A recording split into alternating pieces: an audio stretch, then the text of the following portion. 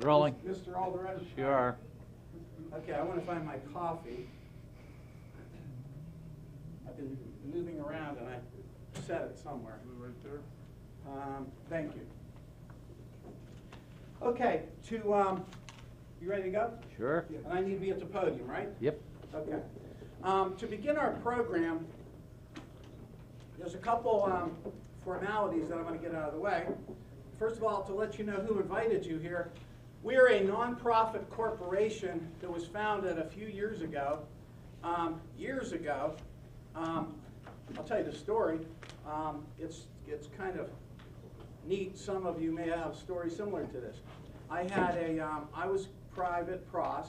Once upon a time, I was a prosecutor in Lawrence County. My first seven years was an assistant prosecutor under District Attorney Bill Pinella in Newcastle, Pennsylvania. I was 32 years old. I graduated from law school at age 36, started at age 32.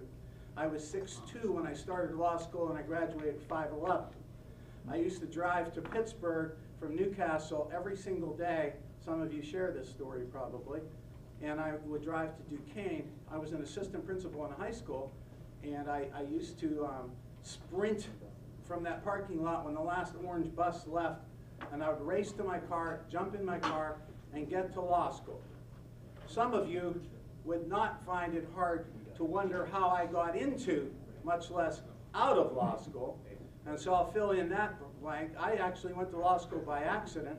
I went to law school um, because I was going to do a PhD program in Akron, and they routed my phone call by accident to what I thought was the night PhD program, only to find out that the lady asked me what my LSAT test score was, and I said, my what? And she said, nobody gets in law school without a law school admissions score. So I said, wow, I didn't want to go to law school, and we giggled a little bit.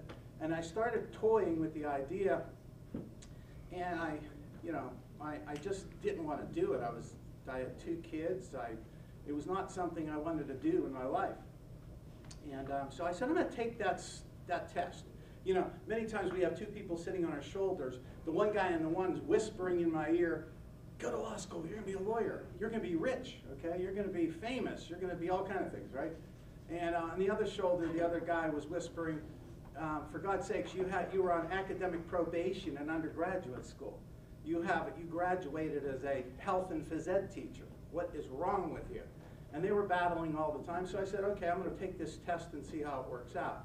Well, I did well on the test. I, I'm a good test taker. I've always been a good test taker. And um, I was on, I was accepted at Akron University, I was accepted at Ohio Northern University, and I was on the waiting list at Duquesne University.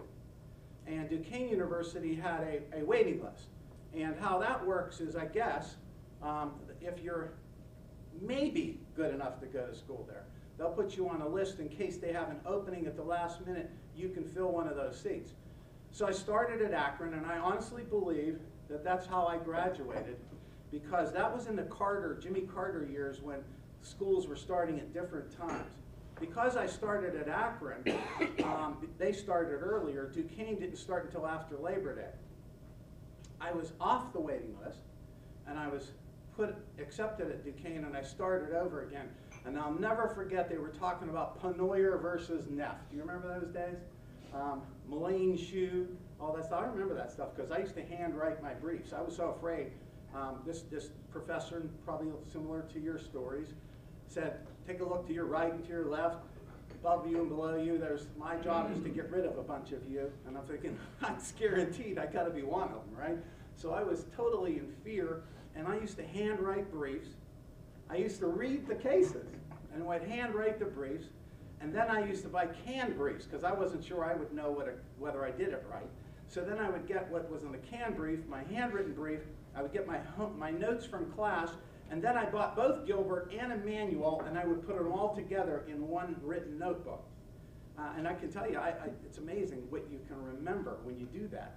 And I remember cases like Hadley versus Baxendale. Do you remember that offer and acceptance scenario? Anyway, and contract law. So what, what happened was, because I had a two-week start, and then I started again at Duquesne, they were all panicked, but I knew, I had some inclination that they're trying to give you more than you can handle, and it's the guy who can discern who might make it. And then from then, oh, I have to tell you, it was just a question of will. Anybody who knows me knows I'm not the brightest bulb on the tree, but they know I'm too dumb to stop or to quit at anything. And I basically said, I started this thing and I'm gonna finish it. And I became an assistant prosecutor, okay? Now I'm gonna take you more relevant to today. As an assistant prosecutor, I prosecuted a lot of cases, and I see some of, I see um, Mr. Fox sitting there. Him and I used to square off regularly. He was in the PD's office, remember that? I do. Yeah, and he was a very good trial attorney, and um, I used to have all kind of courtroom theatrics um, that um, were kind of bizarre, and I'm going back to those days. But I remember Bill Pinella, if you remember, Bill Pinella used to give me four trials a month. I can remember having a folder under my arm, having a jury had just been picked, and I was addressing a jury in another one and waiting for one to come out with a verdict. That's a true story. I never found out till years later that the person who assigned the cases in the DA's office in the little grade book, if you remember that, used to use a Sharpie pen and change the letters AP into AH for every case that pled. I'll let you figure that out, Greg. And used to change AH into AP for every case that didn't plead. And I was wondering, wow, but my people never plead. And I was doing like literally three and four trials a month. And um, funny thing happened. I got good at it. I mean, I really did. I, I, I love trial work. Fast forward that now, I'm a criminal defense lawyer because I couldn't make money um, to pay enough bills, and it was $522 take-home pay every two weeks. And I started doing criminal defense work, and I'll never forget 15 years ago when I had a young man whose parents, I guess, went to high school with me. I didn't even remember that. His son was, their son was picked up for substance abuse, uh, possession with intent to deliver. I um, went to a preliminary hearing. They thought I was a genius because they decided to give this kid a break. And um, I came out of there and all he had to do was show up and we had a, a, a non-incarceration plea. And I said, boy, this is kind of fun. And um, only to find out that before that ever even made it downtown, this kid was arrested three more times. And that's a true story. He was arrested three more times. And I had his parents back in, and although I made, you know, more than one car payment from that case, it's not something you feel good about. You don't feel good about bad business, you know? Um, all of us, I think, hopefully, um, have this uh, concept that you want to do something good. You want to make a difference in somebody's life. You want to make it different. You want to be better. And it's not just better for them. The parents were looking to me, and I started talking to them about the idea that, you know, there are people who are drug addicts and there are people who are criminally inclined, and I'm sorry, but I think you've got a criminal here. Nobody does this. Nobody keeps doing this. And that's literally where I was in my concept. Now, in my mind frame, my paradigm at the time was Nancy Reagan, Ronald Reagan, okay? And um, some of you aren't old enough to know those, how significant that is, but our, our, our war on drugs started about that time. We called it a war on drugs. Um, it's 40 years old now. It's cost over a trillion and a half dollars, and it has been the most costly, most worst, the worst war we've ever fought in terms of success. Um, I watched it in my career. I watched it, and uh, Greg, probably you can remember the remember the Major cases. All those, those he was a CI. He, he busted everybody in Newcastle. And um, I remember the first time I went to court with a with a substance abuse case, I'm a prosecutor, and some of my buddies said, "Hey, the defense attorney is going to want to stipulate that that's a that that's cocaine, and it was uh, because they don't want the jury to see it. They don't want the jury to be impacted, you know, by that." So I said, "Not on my watch." I'm thinking. So I, of course, want to move to admit the exhibit. I remember opening the wax paper. I remember passing it around to jurors so they could you know, look at it. And I remember the old senior citizen guy, I am one now, um, dropped the whole thing on his pant leg as he passed it behind him. And, and the judge stands up yelling for Frank Picari, our janitor, banging the gavel, and Mickey comes running out, and they're, they're trying to scrape the exhibit off the pant leg of the person who was sitting in front of him, and it was another magic moment in my career.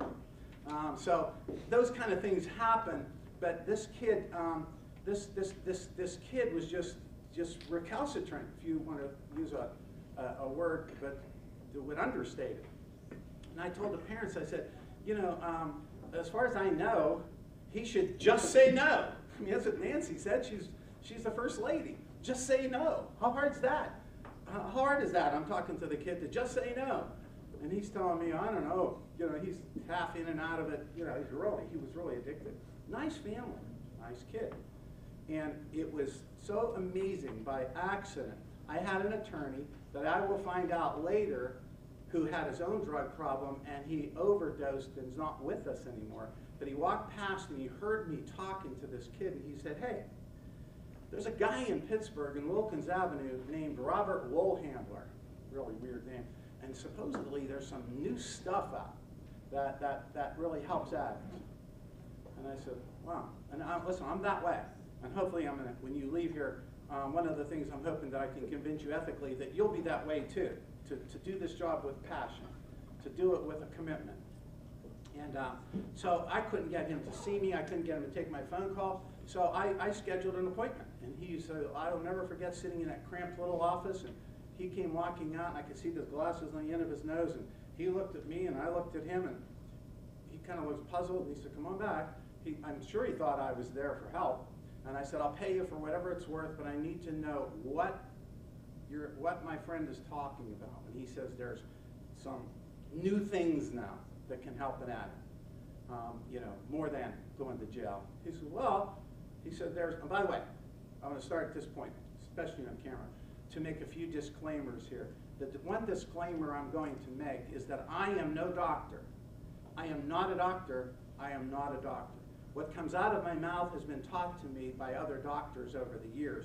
It should not be taken for anything more valuable than that. Um, anybody, in this, anybody in this room um, ever put an accountant on the stand or a, a receiver? Have you, I don't know if you've ever had somebody put an accountant on the stand or a receiver. I do civil work too. But I'm about to digress for a minute here. You gotta let me do this. It's the only way we can have fun doing this job. You gotta let me tell these little stories once in a while. Um, the, when you put a receiver on the stand and you put an accountant on the stand, if it's against you, always ask for the contract of engagement. And the contract of engagement will be seven pages, probably at least, and every other paragraph will say what he is not responsible for, what he is not covered, what he is not doing, what you should not rely on. And when you get done cross-examining him on all those things, he's basically, you're gonna basically say, I don't know why you're here. You just disclaimed everything we need from you. All of the important stuff, and they're doing it to protect themselves. I am not doing that, okay? I'm not going that far. But I do want you to know that this is all given to you as information for you to find out better information.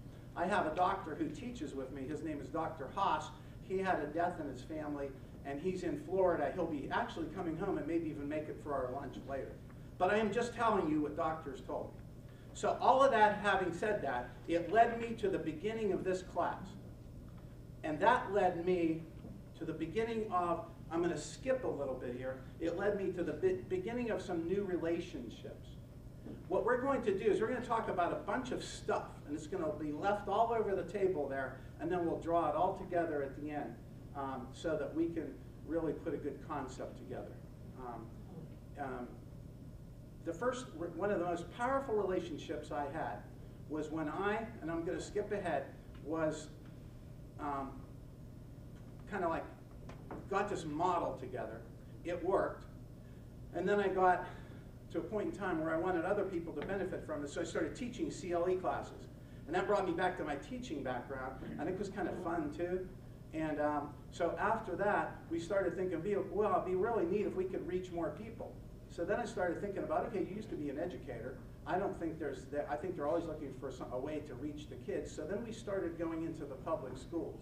That led me to a phone call to the district attorney and the assistant DA at that time that was assigned to the project at Kennedy Catholic High School was one Miles Karson, okay? And Miles K. Karson was a DA, and um, I, I, I, really, he, he won't let me go too far here, but I'm gonna take some liberties anyway. Um, I find so many ways to be attracted to him and his style of doing business that I'll say it on camera here and I'll die with it. Um, there's several things going on. There's several things going on in his life too. I mean, he's tramping around in the jungles of, of Southeast Asia um, when I'm when I'm trying to be glad that I didn't get drafted. Okay, and he's an officer, and he comes from the Beaver Valley area. And Beaver Valley area is a tough place. I mean, you grow up there, you grow up lean, and you grow up hard. And he went as a non-traditional student, went to Ohio Northern. They, they say in Ohio Northern, um, it's such a neat town that you don't need to lock your doors at night. One of the reasons you don't need to lock your doors is because there's nothing of any value there, okay?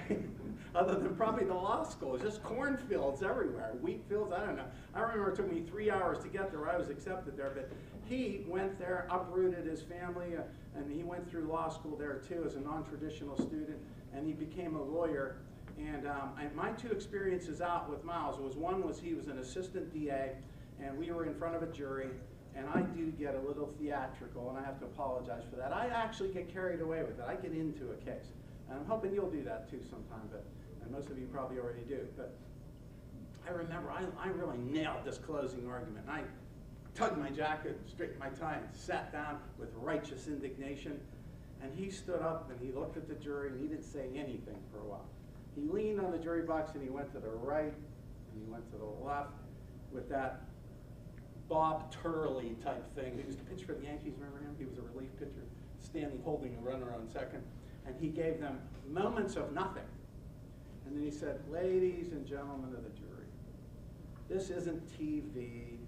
This isn't Perry Mason. This isn't Matlock. Went like dismantled my whole closing argument. And he just took control of that jury, brought them down to the basics and why they were there. And I said, wow. So anyway, one of the greatest moments I have when Miles, um, with Miles in my relationship was we were Kennedy Catholic, and we had a, a young prosecutor. She's now a judge, um, Miles. Her name is um, Sabrina Deskins. And do you remember her from West Virginia?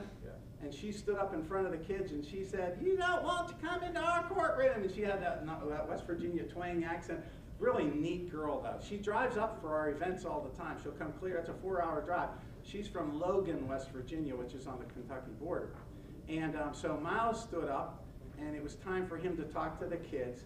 And he looked at him and he said, "If you come in front of me," and again that famous pause, that's not good for you. looked at those kids, and you could have heard a pin drop in that gymnasium, the entire gym full of kids. And so him and I have been talking, and you know, Teddy Roosevelt, right? Walk or talk softly and carry what? A big stick. Well, he's a, he's got a badge. He's the top cop in Mercer County. You ADAs are officers um, to some extent. Um, you have a big stick. But he recognizes that maybe I'll go out into the public schools and proactively talk softly before they're in front of me. And I believe in my heart, I'm 66 years old now. I hopefully, I, people in this room, I know I'm nowhere near your intellectual or legal abilities. But maybe, just maybe, in my 66 years and 32 counties that I've been in, I can give you something of value. And I believe human beings are essentially good to the core, that they have made mistakes and whatnot. And when I was an assistant principal, they used to laugh because they'd find me in a stairwell, they'd find me in the boys' bathroom coming out, they'd find me in the parking lot. They never found me in my office because I was proactively going out there like a police car on 79, making people slow down. And that's what Miles is doing now. And he has embarked upon a journey that hopefully other DAs will do and meet crime with a smile on your face before it's crime and tell them, if you come before me, that's not good for you. Now, you can't do that unless it's not good for you when you do. And he does that really well too. So he's got a, a big burglary preliminary hearing or something, and I wanted, and he's the host of this, and I wanted to yield the podium here so that you could um, give them a few words of welcome, Miles. And if you would come on up, for- please. And this is the Mercer County District Attorney, and he's just gonna welcome you, and then he's gonna eventually have to tiptoe out, and you'll be back for lunch, right? Yes. Okay, uh, Miles Karson.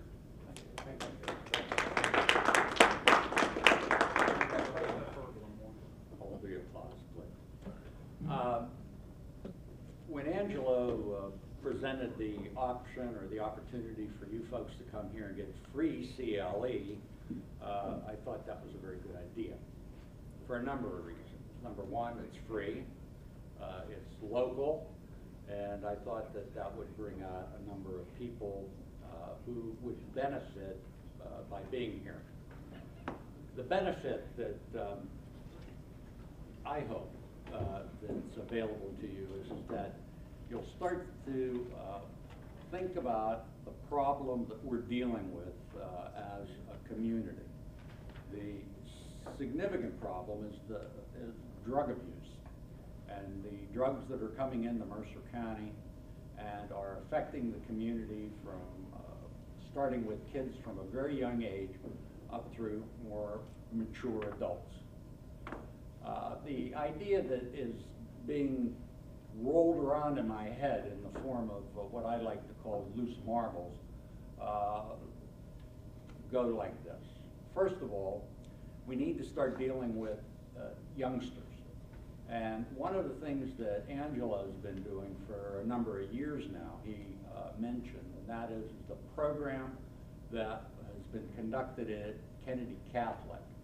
And uh, at Kennedy Catholic, he, he started this and he brought in a panel of people, physicians, uh, motivational speakers, lawyers, uh, and educators. And the idea is, is to start getting a message across to children that drugs are bad and that they can ruin your life and you, but you as a youngster have the opportunity to make choices. Now, this is part of just one part of a big program because what I'm, I'll just go off parenthetically for a minute. One of the things that I'm hearing uh, since I've become district attorney the first of the year, is every time I go off to some event where there are bunches of people from the various federal uh, alphabet agencies, the DEA, the FBI, these people are telling us, uh, are telling the district attorneys here in Mercer, or in Pennsylvania, that this drug problem, this heroin problem, this opioid problem is not at its peak. We are two, three years away at least as they can judge it now, that not only do we have the uh, opioids that are in existence now, but now there are synthetic opioids that are being manufactured in Mexico. Uh, fentanyl is one of them. Uh, W18, the uh, elephant tranquilizer. These drugs are being cut into the heroin, uh, and they're uh, finding their way into our communities from what we know, we don't, we haven't seen uh, any significant amount of fentanyl or W18 here in Mercer County yet, but quite frankly, it's inevitable. It's a matter of when, not if, those drugs will make their way into the system. Uh, they're already in uh, Cleveland, they're already in Pittsburgh. The overdose rate, uh, the death rate from overdose is going up everywhere. Um, including here in Mercer County. So what do we do? We sit on our hands, or we just, as prosecutors, just turn everyone into a nail uh, and try to jail our way out of this? Uh, or do we try other things as well?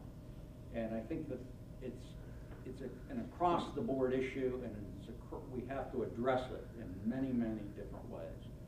First is education with young people, and we have to go as low as we can get in the school system, high school, junior high, uh, conveying a message against drugs.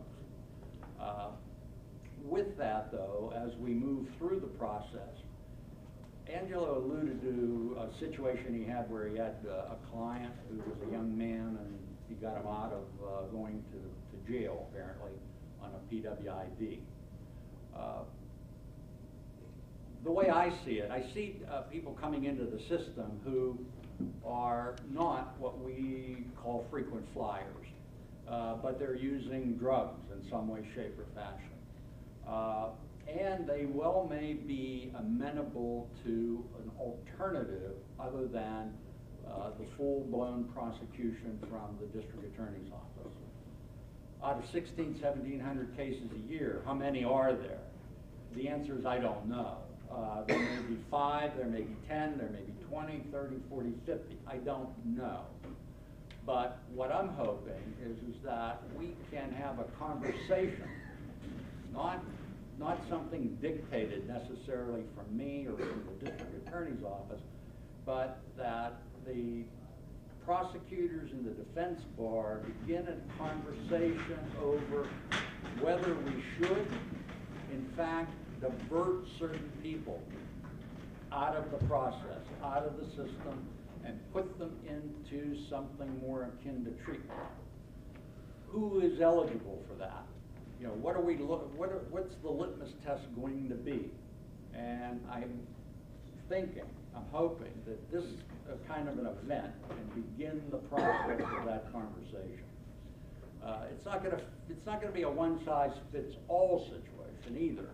It's going, there's gonna be a need for defense lawyers particularly to know their client, to be able to evaluate their client, and be able to present their client to the district attorney's office or to the assistant district attorney and say, here are the reasons why this particular person deserves to be treated differently.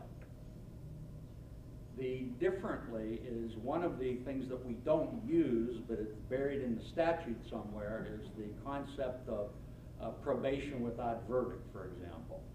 And that particular concept allows defense lawyers, not prosecutors, but defense lawyers, to put a program together and present to an assistant DA, to present to the prosecutor, a program on behalf of the client that's going to, in some way, shape, or fashion, rehabilitate that client, or at least give a, give that client a fair shot at rehabilitation.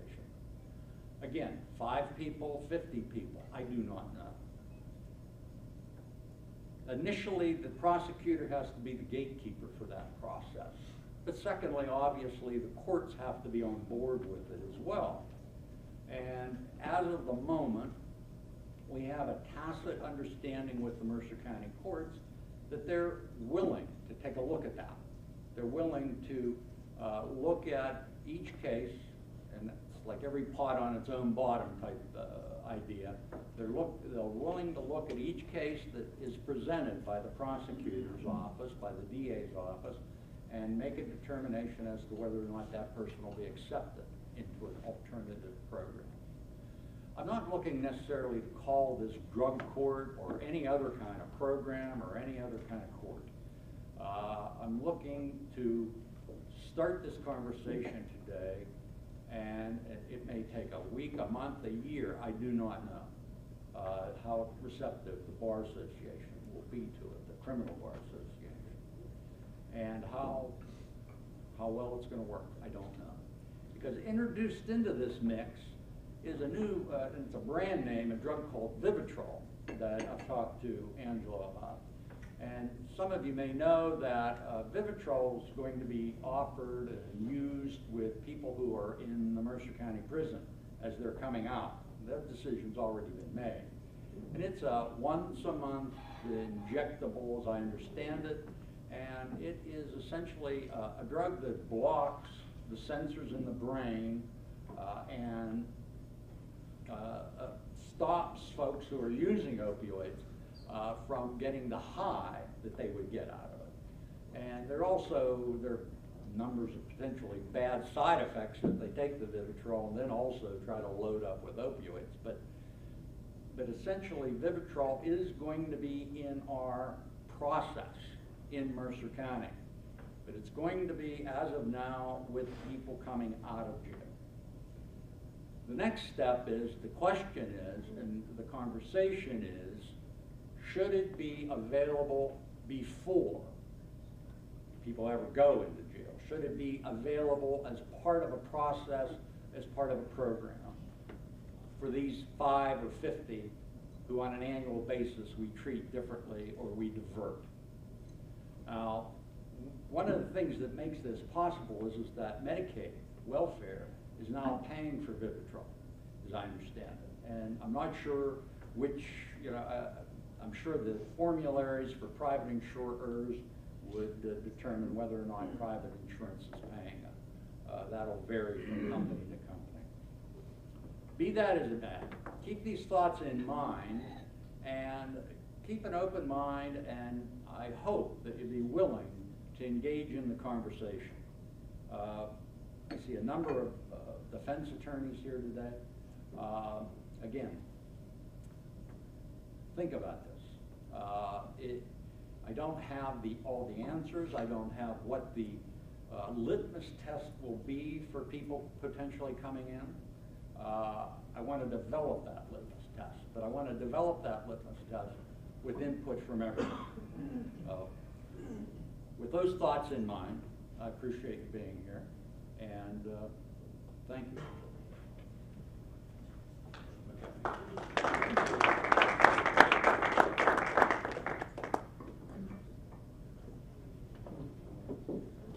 today is over, remember I told you at the very least, you're gonna get a meal, and you're gonna get eight CLE credits, and I'm gonna give you a break every ten minutes, okay? Let's build on that, okay? Let's, let's try to go a little beyond that bar. When today is over, I will tell you, you will have access to every bit of information that would allow you as a defense attorney. Once upon a time, when I used to teach this class for Cape Institute, I used to call it um, a, a, a windfall for a defense attorney. Some of you want to, want to build your own practice. If you master these arguments, you will never have an empty waiting room. We have eight percent of the United States population over age 12, 8.5 percent have been diagnosed with a substance problem. Um, it's more like, instead of 25 million, 40 million Americans. Now, that's a three-year-old statistic, okay? You heard Miles talk about it hasn't spiked yet. Okay, uh, 37% of those people who receive treatment at all come from criminal justice. We arrest, we have 25% of the world's population, and we have, I'm sorry, we have 5% of the world's population, we have 25% of the world's prison population. So if we go back to Nancy and Ronald Reagan, just say no, and we arrest 1.9 million people a year, do you think that would be a business opportunity for a defense attorney? Forget the passion, okay? Okay, that's a huge opportunity for anybody wanting to start a law firm or develop a law firm that's really going to make a difference. Okay, so I am going to teach you everything you need to know to make this argument in a jurisdiction which has a diversionary drug court, in a jurisdiction that doesn't have a diversionary drug court, and a jurisdiction that does have a diversionary drug court that your client may not necessarily qualify for. Um, it's always kind of neat when somebody else took the hit for you.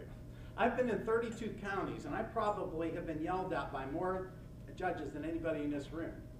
Um, but I'm telling you, I have actually played with this concept for years, and I have never been rejected by a judge yet, except for maybe one or two cases on helping a client. In those two cases, in those two cases, when the guy eventually got out, he did not go back to drugs because we had taught him a way that's different. Right? So, having said that, I'm going to fill that in now in these, and we're going to take a break every hour uh, for 10 minutes and, and get you a good lunch. Um, going back to where I started, um, our group is a nonprofit corporation. Some of our advisors include Dr. Neil Capretta from um, Gateway, and Neil Capretta is probably the premier doctor in addiction medication, probably in the world. Got to tell you a Neil Capretta story because I promised him I would. He always helps us. He was coming up to our Newcastle High School event last April, and he called me about three weeks before, and he apologized up and down that he couldn't couldn't make it. Angelo, I hate to disappoint you, but I can't do it.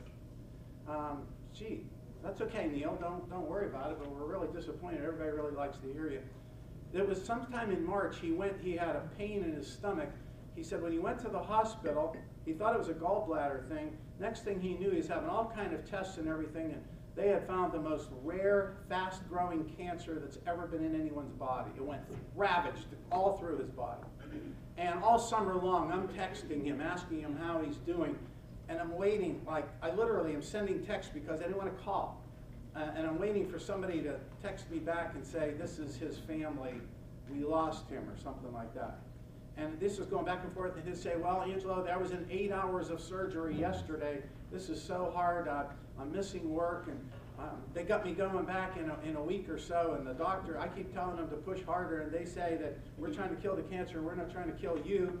And he's fighting this battle. And then I texted him again in September, and he texted me back and said, oh, I'm at work. He said, um, the last test I had, they couldn't find the cancer anywhere in my body. I mean, that's just an amazing story to me, and it's just an amazing tribute to who he is. But anyway, Neil Capretta is our chief um, medical advisor. Dr. Um, Raleigh Sullivan from um, University of West Virginia. Um, Judge Chris St. John has been on our um, has been a part of our mock drug court program. Um, um, the Honorable Paul Michael Pozonsky. That's a story. Um, have anybody ever heard of Judge Pozonsky in Washington County? Judge Pozonsky in Washington County couldn't be here. He actually lectures with us sometimes.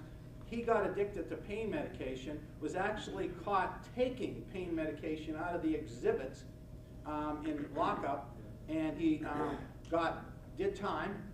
He got removed from the bench. He lost his retirement. He um, lost everything. Um, he's hoping someday he can practice law again. As far as I know, he's working construction and he lectures with us. Anyway, so he certainly has a story to tell. Um, Dr. James Barber, Dr. James Barber, um, they, they now have a, a DNA test that they can tell you, your kids or you, within a 90% accuracy rate whether you'll be a predilection to be addicted to pain medication before you ever go to surgery. They can test that now, okay? Um, technology is really, it's amazing, what an amazing new day it is. But Jim Barber is part of our staff. Dr. Peter Iacino, he's the retired president of Kennedy Catholic. Dr. Jackie Respris from um, Newcastle High School, she retired. Um, Robin Cole, Pittsburgh Steeler, some of you may have known him. He's usually with us. He couldn't make it at 8 o'clock in the morning. He'd be standing up here and hold his hand up like this, and all of his fingers go in five different directions. I mean, it's the most amazing thing to see his hands. He was an outside, kind of like a linebacker for the Steelers, if you remember. Uh, poor guy made $65,000 tops every year he played back then. He has, he has three Super Bowl rings. Larry Forletta is a former DA agent. Dr. John Wrightson, Matthew Mangino, former prosecutor, former member of the parole board. Um, um, Nessa Smith, she runs a counseling center. Myself, Alexander Lindsay, who usually does the trial, the mock trial with her. I see we have Mary Odoms in our crowd here. Mary Odoms actually almost sent um, John or, or Al, Al Lindsay into counseling. She beat him in one of our mock trials, and I don't think he'll ever get over that. Um, but she convicted the defendant, and Al lost, and he still talks about that. So, Mary, you have that calling card whenever you want to use it. Um, Dr. Um, Atta Olak, Dr. Mark Matta, a psychiatrist at addiction medication. He works in that in Newcastle. Mike Stride, professor of uh, torts. Anybody go to Duquesne Law School in here? Uh, do you remember Mike Stride? Eddie? Okay, but Mike's part of our board. In fact, Mike led us to Dr. Haus. I can't believe you're walking in the back door. You're supposed to be in Florida. I told everybody you were in Florida. Duty calls. Okay. Welcome, sir. Hope you had a nice flight. Yeah, was eighty-six degrees now. Yeah, okay, it's four up here. Okay, for the camera, um, Dr. Um, Haus just walked in and he, he flew in special and we'll figure out how we're gonna deal with that later in our editing, right? Yeah. Okay, it's okay. Having him here is great. Um, Dr. Haus, obviously, and um, Mike Strive. Mike Strive led us to the movie Graduation Day. I have to tell you something about that. You'll get a promo of that at the lunchtime. This is an amazing thing. Um, there was a man, Mike Strive, who called me and said, Angelo, you have to, if you're going to deal with substance, you have to deal with alcohol. Anybody who ignores alcohol is basically doing so because they basically feel they're incompetent to do anything about it. So you've got to deal with alcohol. These kids are dealing with alcohol too. So we started to branch out our program, and this was an, an amazing story. There's a guy named Bob Pack. He, um, his wife was walking, his pregnant wife with twins was walking their seven and ten year old um, Troy and Elena. My own granddaughter is named Helena. Troy and Helena um, through Silicon Valley somewhere on a usual pleasant summer afternoon, and some lady who had been at a graduation party, and I guess I think had um, um, dental work done. And she had a beer or something at the graduation party. She just passed out and swerved the car over and killed everybody, um, but the but the wife. She lo- they lost both of the children she was carrying and both of their kids. Um, there was some kind of huge settlement, and he used the money to take this movie called Graduation Day. Now this, I have to tell you, as I speak to you, I have goosebumps on my body, and this guy has filmed me say this I don't know how many times. I never, it never fails to get me. This movie is about a bunch of kids who are doing graduation ceremonies, and they start the day or so before the commencement activities start. Um, and they're filming each other, kind of like the Blair Witch Project. Remember that movie?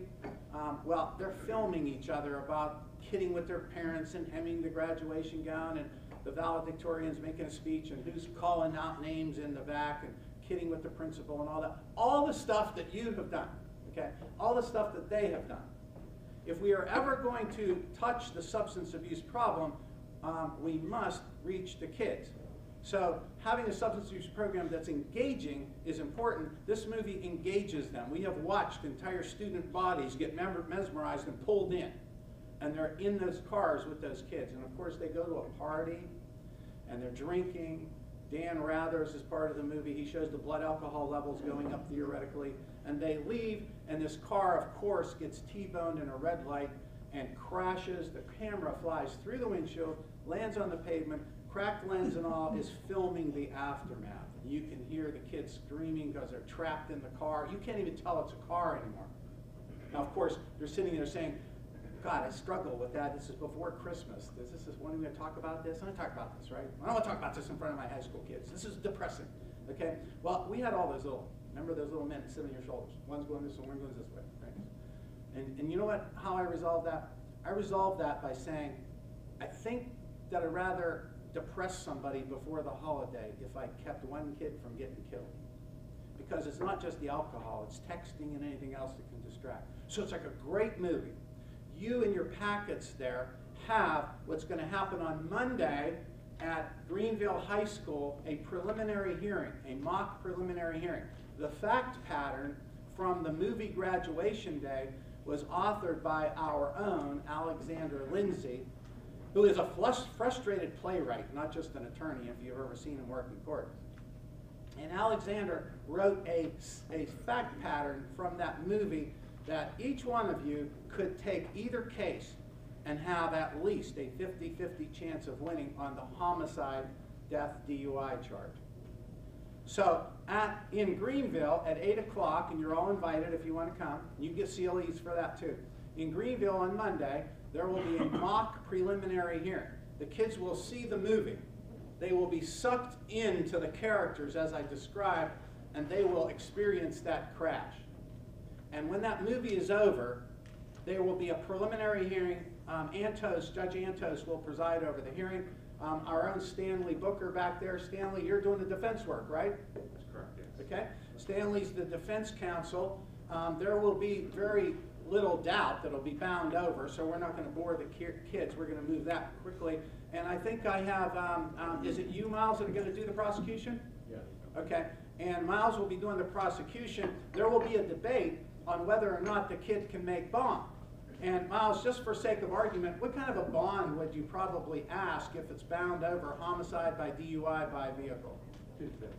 Two fifty? Well, we're probably not gonna let the kid make bond right then, and he's going to be in a wheelchair.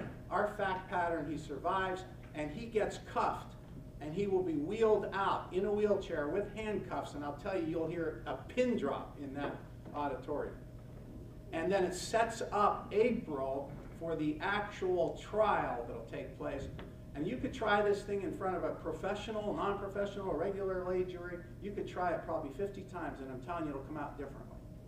So that's when we start getting into the engagement of the kids into this problem. And we have it, all kids like Lost, or lawyer, shows and things like that. We actually have a lot of adults show up for that too. So our goal is to have one of these in every community in America someday and take this. Now Bob Pack, let's go back to Bob Pack who lost his two, his four kids. And Bob actually plowed all the money from that settlement into making this movie but he just couldn't get any, it to go anywhere. And um, so we're hoping by connecting a trial to it, it'll have more traction. The movie is available on YouTube, as all of our other, other videos are available. But you have the fact pattern right there. And Miles, I emailed it to you too, so you can give it to the policeman who's going to be our policeman for the mock preliminary hearing. Okay, that's the board of directors. Now, we are a nonprofit corporation, and the first thing we ask you to do, some of you will book, bolt for the door after you eat lunch, and that's okay. But anybody who doesn't want to bolt for the door, we would love to have you part of our board of directors. or part of our program um, to, to, because we know that prevention is a lot cheaper and a lot more effective than treatment. It's off the chart. So, that's the corporate board, and I want to check my notes here to make sure I'm keeping on track. Does anybody, you're going to help me with the time, right? Or is it time for a break? Fifteen minutes more and should, uh, And you need a battery too, so you'll give me a signal? I think it's a good time for a break, fifteen minutes. Yeah, Okay, you'll give me I'll the, just si- you'll do give me the this. signal, Yeah. okay, thank you. Okay, um, I teach for the Cape Institute, will see to it that you get your credits. And, um, Dr. Haus is back there, and we're already recalculating our program. I did not believe, I did not know I was gonna have him, but that's just great. We're definitely gonna share the podium with him. And, um, we have, um, the community part of this program is to connect the educators, okay? And if we want to reach kids, we have to connect the educators. So I think, Bruce, did you, um, pass all of the handouts out? Okay. Did we pass the triangle out, um, medicine, behavioral medicine, and the law? It's back there by all those plates. I know that's where I saw it. I don't see anybody who has it. So if you want to get those out at the break, okay? Whenever we take our break in a couple minutes here.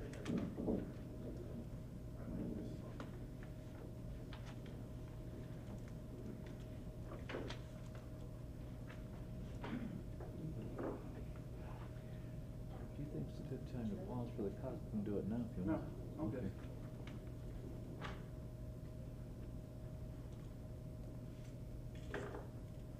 Any of you, some of you have come in, um, I noticed since we started, make sure you sign the yellow tablet so you get credit for your, for your hours.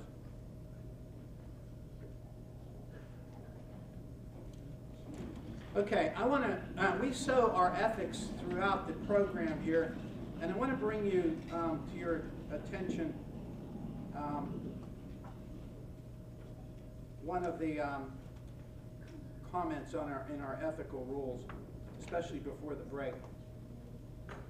I think they play off of each other. Rule 3.1 is not a criminal rule, but Rule 3.1 is a rule that applies to all of us, okay? It's called a meritorious claim, okay?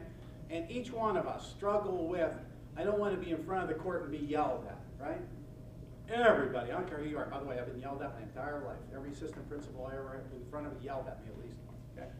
I can handle it. I think this is strength, okay? But nobody wants to be yelled at in front of court. That's my pet peeve, by the way. If you ever ask me who I'm voting for, Judge, I'm gonna vote for the person that I think is least likely to yell at somebody. You can disagree without being disagreeable, okay? Okay, but meritorious, the, the comment here connects to where I'm going. Um, and the comment in Rule 3.1 says that the filing of an action or defense or similar action taken for a client is not, okay, frivolous. Um, merely because the facts have not first been fully substantiated or because the lawyer expects to develop vital evidence only by discovery, such action is not frivolous, second reference of not frivolous. Such action is not frivolous even though a lawyer believes that the client's position ultimately will not prevail, okay? Um, the action is frivolous, they always do that to you, right? And you think, yeah, got it, and all, once they go the other way, okay? The law, the action is frivolous, um, however, if the client des, um, desires to have the action taken primarily for the purposes of harassing or malicious, injuring a person, okay, we already know we're not gonna represent somebody like that anyway, okay? Um, or if the lawyer is unable to make a good faith argument, that's all you have to make, on the merits of the action taken or to support the action taken by a good faith argument for an extension, modification, or reversal of existing law. You know what? That's why we went to law school. I mean, before we get to the break, I want to share this moment with you. Al Lindsay and I teach classes together. Again, I know that some of you are very much more experienced in the law, and I don't want to be sitting here preaching to you or something like that, but if you take anything away from my presentation to you today, I want to tell you what Al Lindsay always tells our classes, the Joe DiMaggio story. Anybody here know Joe DiMaggio? Raise your hand if you know Joe DiMaggio. Human beings have two segments to their arms. Kangaroos only have little arms. I mean, who knows Joe DiMaggio? Make yourself look old, okay? He's young and he knows Joe DiMaggio. Okay, Joe DiMaggio. The story goes, okay, according to Al, according to who told him, the story goes that the Yankees had already clinched the pennant. They always clinched the pennant back then. And that Joe DiMaggio was playing in the outfield. And Joe DiMaggio, a gapper was hit. They were up by eight runs. At the top of the ninth, there were two outs. A gapper was hit. He dove to catch the ball and flew headfirst into the wall. And he fell down and he was unconscious there for a while. Everybody held their breath. Um, the news eventually interviewed him and asked him, "Why would you do that? The Yankees won the pen, or clinched the pennant a month ago. Your team is winning by eight runs. There are two outs." He said, take a look at these seats. And everybody looked around the Yankee Stadium. He says, somewhere in this stadium, there is a kid who came to see Joe DiMaggio play, who probably would never come again. And today, he needs to see how Joe DiMaggio plays the game. So if you take that on what is not frivolous, and then you go into our rule on diligence,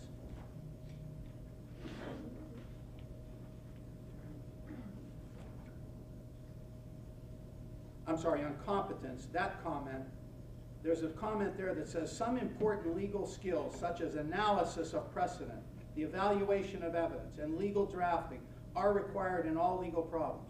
Perhaps the most fundamental legal skill, I'm going to say it again, perhaps the most fundamental legal skill consists of determining what kind of legal problems a situation may involve, a skill that necessarily transcends any particular specialized knowledge. So mm-hmm. if we can teach you how to save someone's life and their freedom, I think it's important, even if the judge is in a hurry, to say, excuse me, I have something to say. There's a little kid, a client, who came to see me play. That's how I play the game. And we're going to give you some arguments right after the break. Thank you. Ten minutes so that I get you your credits. All right, here we go. Um, again, summarizing, medicine-assisted treatment, um, legal medical solution, again, day-to-day pill, monthly injection. Okay, you guys have heard the expression the perfect storm. I don't think a person could ever be in as much trouble as a person that has a substance abuse charge against them because they have a medical problem and a legal problem at the same time. And how could it get any worse? Think about this though. Think about taking advantage of that legal problem, driving a medical solution that otherwise is not in their radar screen, and haven't we turned a perfect storm into a perfect opportunity if we do it correctly? And leaping to the next page, however, number six talks about those important six caveats. Your county appears to be ready now to finally embrace Vivitrol, but I am quickly claiming, and we have a DVD on it, that you need to be knowledgeable about where it might break down. You as a defense attorney need to be prepared for this, and you as a prosecutor need to challenge this maybe. One, um, there is no magic shot, okay? Two, there is no magic shot. Three, there is no magic shot, okay? My point's made, number one. Number two, one size fits nobody. Anybody who comes into with a standard mantra template um, is probably not doing that person any good. Dr. Haus doesn't practice that way.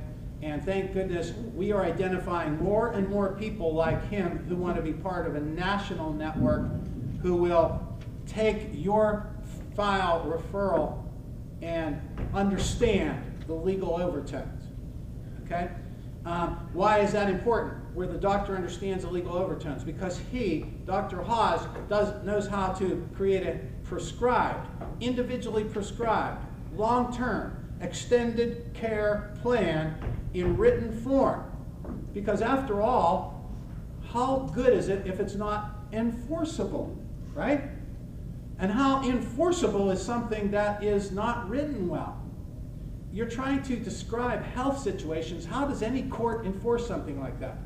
Again, I don't know if we've received, if we've arrived at that point, but we've done enough of them that we have a hand-tailored, cut and paste Word document that we will email to anybody. And we would love to have you say, by the way, we think you should do this, or add to it.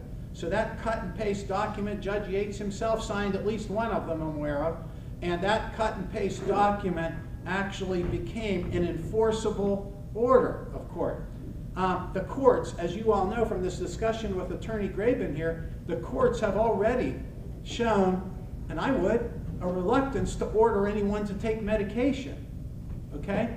So, how does a court deal with the situation where I ordered something and it's now six months later? Uh, we, we thought through some of those issues. Um, uh, uh, this, this is an enforceable plan, just to give you a for instance, it's enforceable, um, but it is modifiable. But it needs to be after proper notice to the district attorney. Remember, we always want that pushback because that pushback creates the strength of the treatment plan and protection for society. And then we go to court and modify the thing. It could be that you, as the attorney, will going to get fired. So you tell your client, hey, if you want to fire me, that's true too. But if you ever want changes, you've got to go back to court. I've actually given people pro se modification petitions in blank form so they can fill it out, knowing that they have to have to do that because it's a formal order of court. Okay, um, so that's the specific binding terms. Number two, the advanced preparation, and doctor touched upon that, how you can't get the medication if you're not clean for at least a number of days. Number two, you want to make sure somebody has paid for it. Number three, you want to make sure that next month is already contemplated. What you're looking for is that seamless transition. I had a judge in Mercer County, he's retired now, actually deputized a mother to take the guy from jail directly to the addiction doctor. Addicts have been known to hide substance in the hems of their pants in the closet to get a quick fix on the way to the addiction doctor. I'm telling you, it's, it's, a, it's a whole new world. So it's that seamless transition. It's my opinion that they wanted to legalize marijuana and didn't have the courage to do it, so they created this sham called medical marijuana being legal. Um, just take a look at the stats in Colorado. Um, now we have a 4,000 pound missile with texting, alcohol, and medical marijuana. Lastly, at the preliminary hearing, Alexander Lindsay won't be there, but he tells the, kid, uh, the kids a story about a girl who um, died in his neighborhood. He tells this story for these kids. Many kids will drink for the first time over the Christmas holiday. Those kids we're going to be talking to on Monday, you're welcome to come. Many kids will be talking and over the Christmas holiday. And um, Al Lindsay tells a story that's very, very powerful. He said that he went to a funeral home once, and there was somebody who lived down in the cul-de-sac, two beautiful twins. He said They're beautiful blonde twin girls. One was a majorette, the other was a cheerleader, and the one dated the um, captain of the football team. So they went to a Christmas party. This girl had never drank before, apparently, and her boyfriend was a big football player. He's matching her one beer for every fruity drink she's drinking. And the alcohol content in her fruity, fruity drink is way past the beer.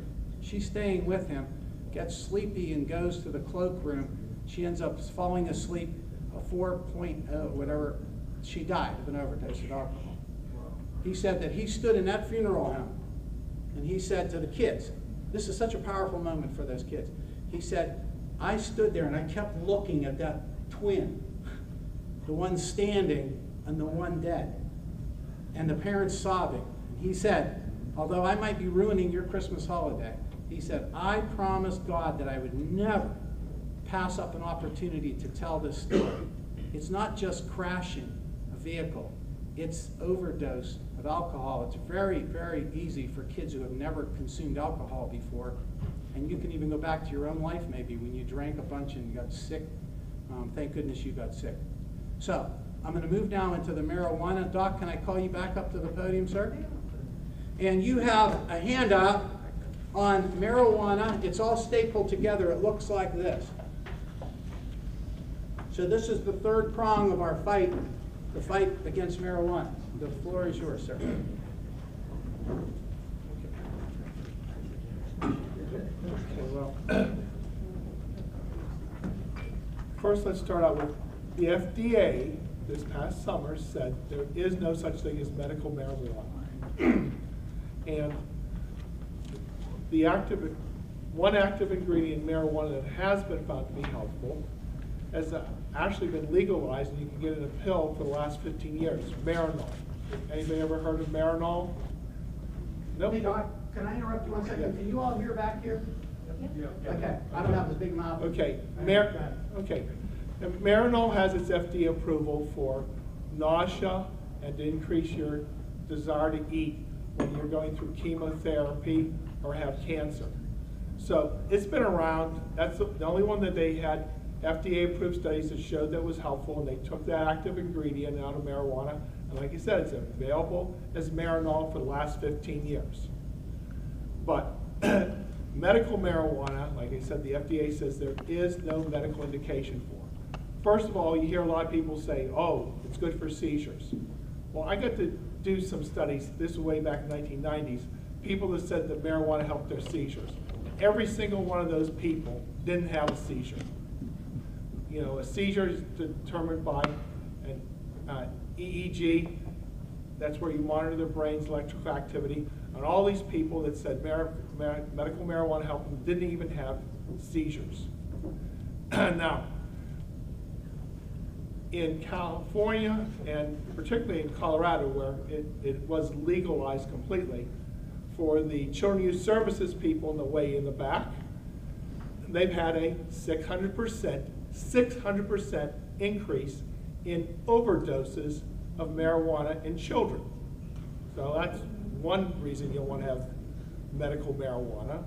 Second is, they've also seen they've had a tremendous increase in the number of DUIs involving marijuana. Okay? Third, long-term use of marijuana is associated with lower academic achievement and lower financial achievement. Uh, there was a nice study done, uh, it was a college, this was just published about a year and a half ago, where they showed that people, the children that smoked marijuana in college went to school less often, got lower grades, and dropped out of college more often. There was also a giant study done that, over a thirty-five year period, that looked at people that started smoking when they were in the high school or junior high school, and, you know, how were they doing thirty-five years later? And the fact is, those people, like you said, had lower educations, had lower economic status, and even their friends could tell when they were smoking, when they weren't smoking, though they didn't know. And finally, marijuana and all substances are involved in a lot of, the majority of all workers' comp accidents. Um, When I was the medical director at Corning Glass, and this was sixteen years ago, we, we did um, urine drug screens and bloods on everybody that was involved in an accident, and we found a majority of the people that were impaired. That same study was just done again in, um, in Kentucky and southern Indiana and southern Ohio on coal miners. They found a majority of all coal miners were impaired. And a lot of times it was marijuana. Now, we no longer think that marijuana is the only gateway drug. I mean, if you talk to people that do opioids, uh, a lot of them will say that they started with marijuana, but uh, a lot of them will also say they started with opioid pills. But you know, the idea that marijuana is benign, these marijuanas are, are stronger than they were 30 years ago. And also, some people go psychotic on it, so they'll take an, an a marijuana, like a marijuana extract. People just don't smoke marijuana now. People are getting marijuana uh, waxes and oils that can be, you know, very, very concentrated, that can be five or nine or ten times more powerful mm-hmm. than simply marijuana. And when those people take that, sometimes they become psychotic and they, they're stuck in a psych ward for a few days up to a week. So the, this idea that, again, that marijuana is benign isn't really true. I mean, people, there are consequences, like I said. You see Colorado, number of people, children with overdoses, number of DUIs for marijuana, number of car accidents, of people dying. It's substantial. And we already have enough problems without making new ones, but this is a new one we're gonna be facing. Question. Thank you.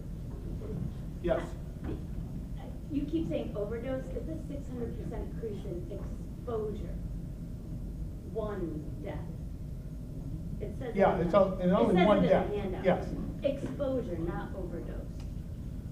except that exposure is damaging in children.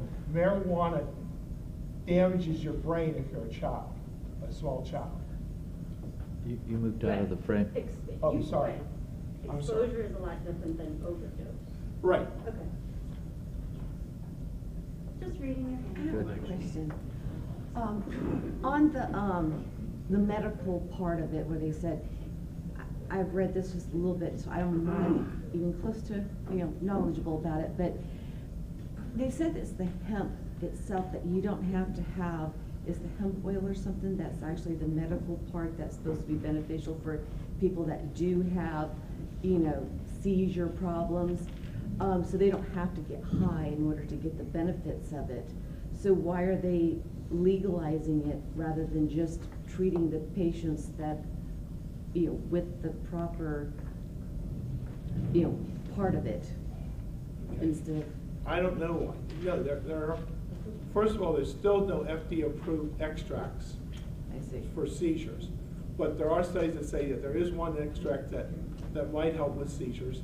And no, they just chose to legalize all of it. They're not, So instead of just taking the part that would help those people, which supposedly is the hemp oil itself, which does not contain the, the get high part of it, they're just legalizing it so that everybody can go out there and get, is there any regulations, like, you know, with, uh, the pain medication?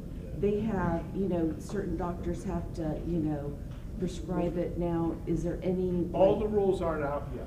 But your doctors are gonna have to take a class, and it looks like they're gonna get a special license from Pennsylvania to prescribe it. And then, again, I don't know what that class will be, I don't, I don't know what, uh, the, the rules will be. I mean, I wouldn't do it because I have a DEA license, and I, I wouldn't wanna risk getting in trouble with the DA for doing something that's against federal law. So, Yes. That's why I'm not gonna do it. But if you've been to California, Colorado, they really are machines. You just go in there, you pay like ninety bucks, and then they give you a, a medical card to go get your marijuana. You just, I mean, it's like going to Burger King or McDonald's. You just pay your money, you're in, you're out. Wow. All right, thank you. Any other questions? Okay, thank you very much, thank you. Okay, um, just to warm us back up again, uh, and this is, listen, hey, this is honest. The camera's facing me, not you, okay? How many people in here think, you know what, there's nothing you can do about it, legalize everything? How many people believe that? I'm telling you, that is a popular concept. You know what, how are you ever gonna stop it? Just legalize everything. I hope that you haven't got to that point. Um, how many people, um, believe that there's probably nothing you can do about it? Or how many people think it shouldn't be our problem in the in the justice system? Well, if we go back to those statistics, let me explain to you something that I hope that you will see as an opportunity to make a difference. Again, um, I don't want to sound corny, but I'm a history freak, and I love to read history. And there's um, Johnson on history. I love this this section. Um, and, and, I just have to tell you, those of you who've been career lawyers and come from several generations of lawyers in your family, I pay tribute to you. I was not a lawyer until I was age 32, and I think maybe um, somehow I got through somehow, and I passed the bar and whatever, and here I am. Take it from somebody who maybe not as as as your equal, to how much I looked up to your profession as a 32-year-old high school administrator from outside in. I'm going to read you this little section from um, Johnson in history. The Commonwealth, uh, the convention met in Philadelphia again and sat for four months, breaking up on September 17, 1787. Its work triumphantly done, of course, we're talking about the Constitution. Its success owed a lot to the fact that all the states had been writing or improving their own constitutions over the past decades, and so many of them attending were experts at the game. Of those attending, 42 had sat in the Con- Continental Congress or the Congress held under the Articles of Association. Most were planters, landowners, or merchants. A number had served in the Army. There were 26 college graduates, nine from Princeton alone, but probably the most single element were the lawyers. Whatever we say about our government, or whatever problems we have, or you might be on a holiday because of the results of the presidential election or in mourning. Whatever you have to say, it's the most amazing form of government there is. And the lawyers are basically most, most, most um, impacting of, of, of where we're at. And I think we have lost that ability to be community leaders. I mean, if you look at the TV shows and whatnot, everybody likes lawyers. We don't like what we do. I mean, sometimes we get so run down and it's so hard, and you put your head down. I'm, I'm asking you to bring back that moment when you were in law school and couldn't wait till you graduated. I mean, I couldn't wait till I graduated. I thought everything was going to be perfect, and it wasn't, of course, but I thought it would be. But I can remember when I graduated, I can remember when I passed the bar exam, and I can remember when I walked into a courtroom for the first time. And I can remember the time I walked out of the courtroom as a prosecutor and I had found I put a really bad person in prison. You are a cut above. We are a cut above. We are responsible for so much more, but we have a major piece to play in substance abuse.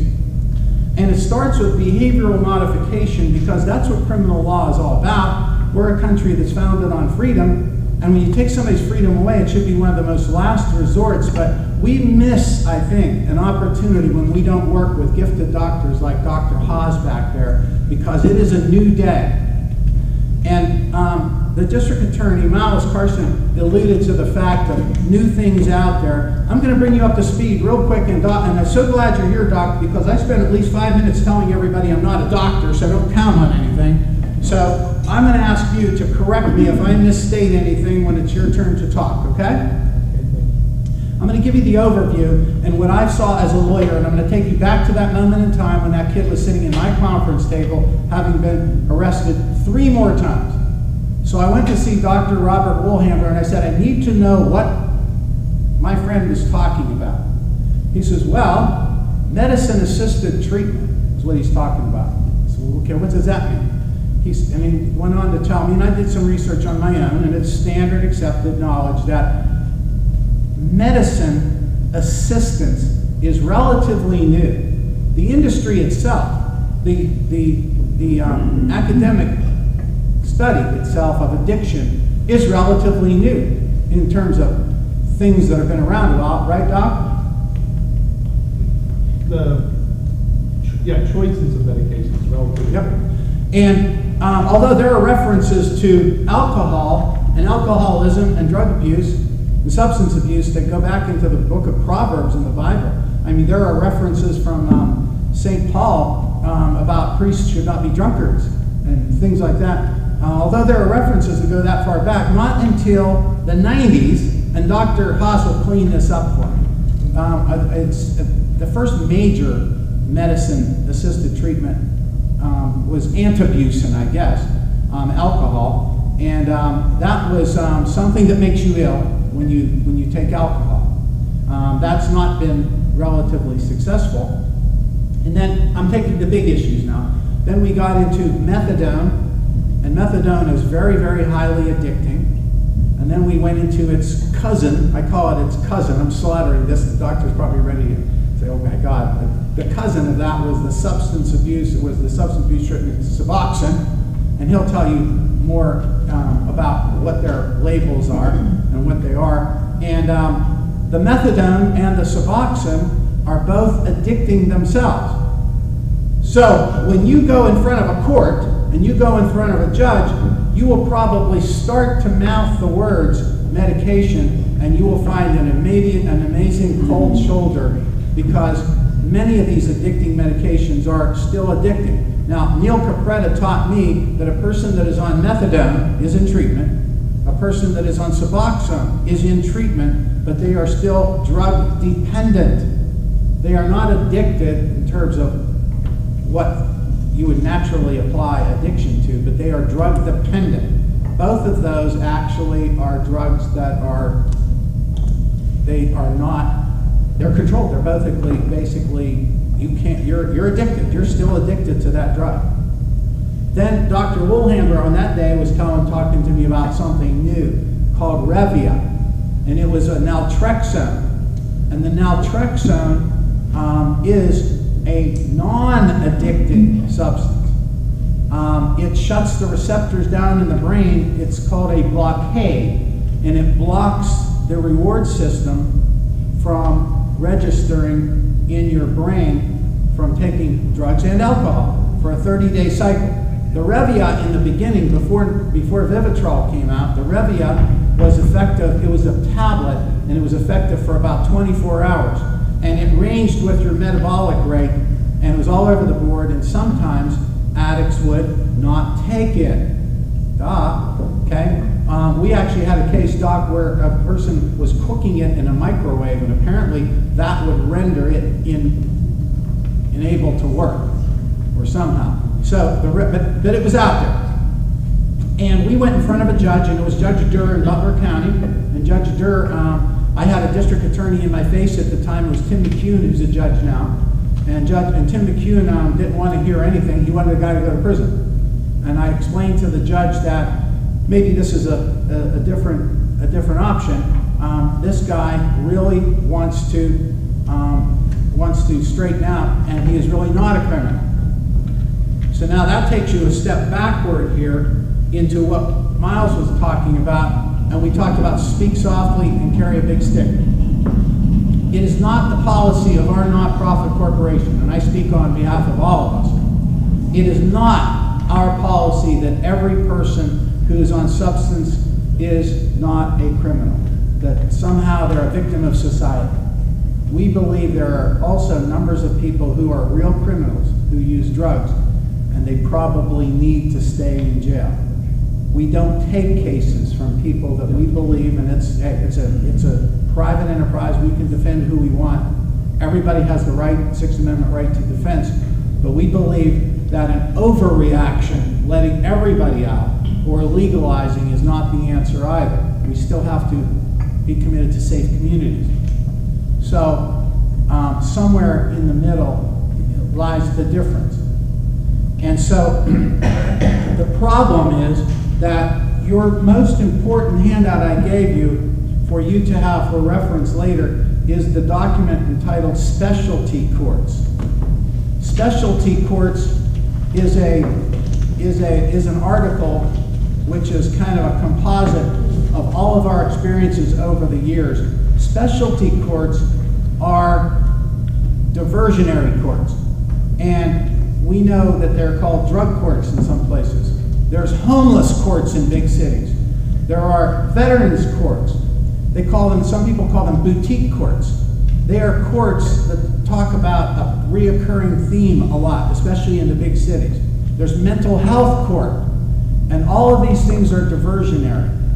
And all of them are basically designed to separate this, these crowding dockets all the time. Um, they basically, it is my opinion, and when I say my opinion, you know the bar goes way down on whether or not you should find value in that. It's my opinion, whatever that's worth.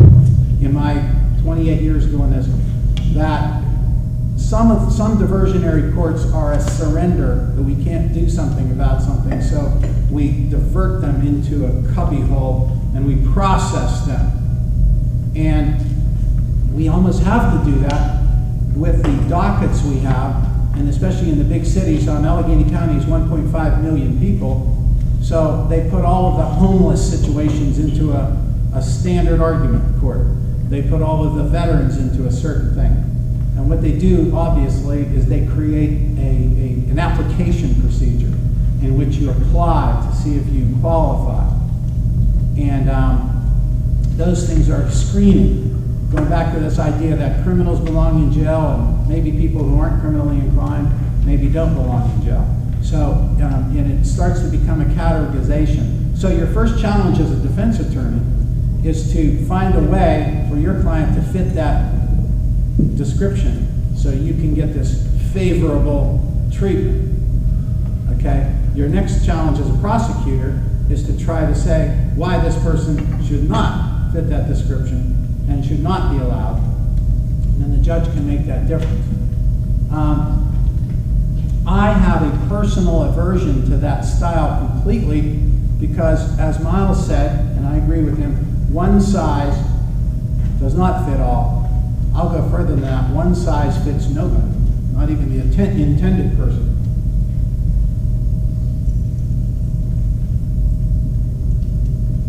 People issues,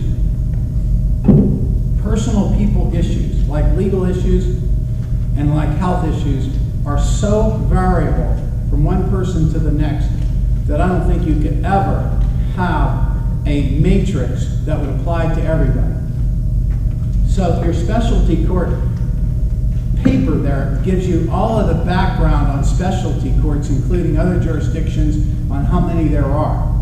I believe that specialty courts, in a way, are some type of a conviction against the defense counsel because the defense counsel may be missing an opportunity to make an argument or maybe not making the argument. Now, one of the people who teach with us, and all these videos are on are available.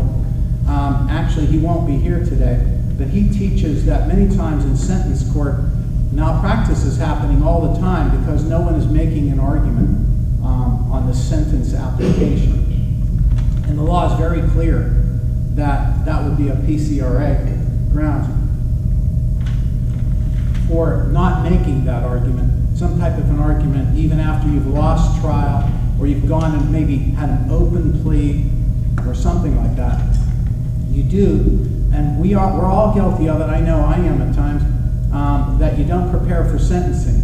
There are many judges out there who are looking for someone to make a cogent argument. I had Judge St. John at our Kennedy Catholic thing two years ago, and we had a question and answer, and I asked Judge St. John, Judge St. John, what would you do if somebody made a cogent legal argument about sentencing that was even outside the guidelines on the substance abuse, and they offered you a solution? He said, I don't know. It's never happened before. and I, we, we, then we chuckled about that, and they're, they're, I'm telling you, judges are looking for you to give them away. Do we? Did anybody here remember? Anybody, all of you people in here have Leflar. Remember Leflar? Conflicts of Law. Do you remember the Conflicts of Law class when you were in law school? There's a book by Leflar, is the author, and it's it's nothing more than knowing what the competing interests are.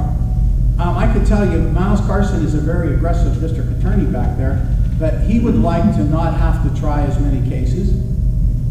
You're the defense attorney, you would like to not have to try that case.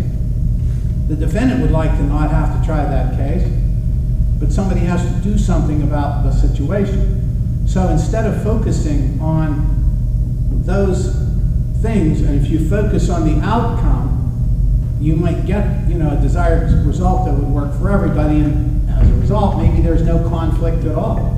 Maybe all the competing interests, or at least most of them, line up. And that goes back to that comment on what transcends a lawyer's um, skill, um, and, and that would be feeling that, sensing that, and making that argument that is, that is not frivolous. Having said that, let's apply that to the substance abuse now. What do we know? We know there is a non-addicting medication out there. We know it is available in tablet form, and we know it is available in injection form. On the record, I will clear up again like I always do. I paid nothing from the Vivitrol people. The Alkermes Corporation, I think, still owns it.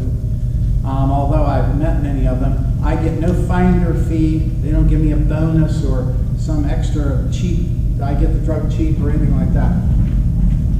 Um, in fact, I wouldn't take it anyway because we want to argue these things anyway. Miles talked about beginning a conversation. Beginning a conversation. That's what the purpose of our Substance Abuse Coalition is, to begin a learned debate that doesn't go anywhere. When you go back to your separate ways and your holiday schedule, we hope you left you our email address so that we can stay in touch and we can always share the latest in research. And we can always share this information with schools, doctors, lawyers through CLEs.